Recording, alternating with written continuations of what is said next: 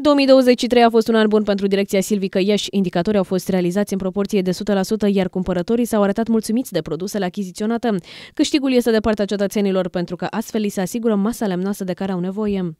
Cu cel puțin un an înainte, masa lemnoasă este pregătită să fie pusă în valoare. În regiunea Moldovei sunt încă mulți clienți care aleg să-și încălzească casele cu ajutorul sobelor sau a centralelor pe lemne.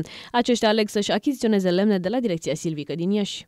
În anul 2023 vă pot spune că Direcția Silvică Iași a asigurat în mare parte volumul de masă lemnoasă care este destinat pentru încălzirea populației. Am reușit de valorificat undeva aproape la 80-85 de mii de metri cubi, iar ca și prețuri n-a fost nevoie să le creștem, chiar făceam o analiză dacă la sfârșitul 2019 noi prețul de valorificare la populație era undeva la 205 lei pe metru cub, acum spre sfârșitul anului prețul de valorificare este undeva la 290 de lei. Direcția Silvică Iași încearcă să asigure tuturor cetățenilor materialele lemnoase de care au nevoie. În politica pe care a promovat-o și Regia Națională a Pădurilor, în așa fel încât ca populația să găsească mai ușor lemn, să venim în sprijinul acesteia.